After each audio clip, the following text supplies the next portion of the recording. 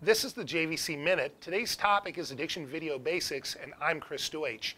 The GC-XA2 Adixxion features a user-friendly on-screen menu display that makes it simple to access functions for video mode, photo mode, Wi-Fi mode, and setup. Within the video category, there are a variety of great features.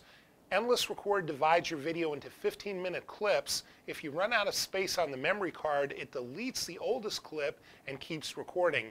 You always have the most recent content. Video time lapse records single frames of video at set intervals from every two tenths of a second to every 60 seconds. Then those frames are combined into a single video clip.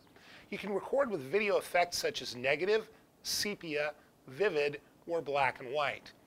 Simultaneous video and photo will automatically record a still picture every five seconds while you're recording video.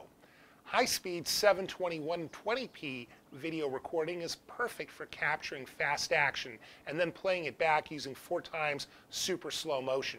That's the JVC Minute. I'm Chris Deutsch.